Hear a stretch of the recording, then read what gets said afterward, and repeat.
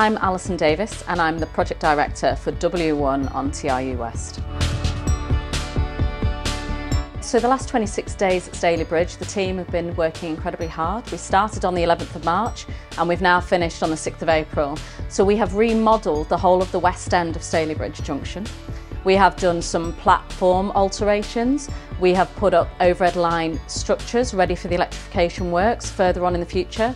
And we've also renewed all the signalling and relocated that into the Manchester Route Control Centre.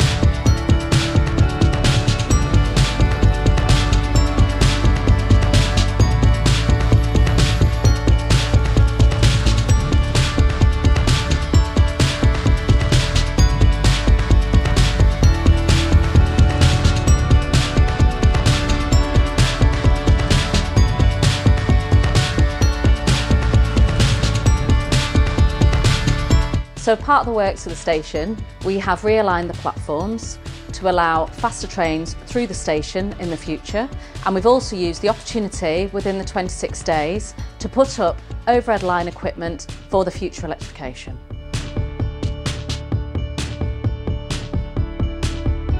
There has been some challenges. We have now completed all the planned works and it has been a really successful project. I would like to thank passengers for their support and understanding during these works. With the works now complete, the project is one step closer towards the future electrification of this route.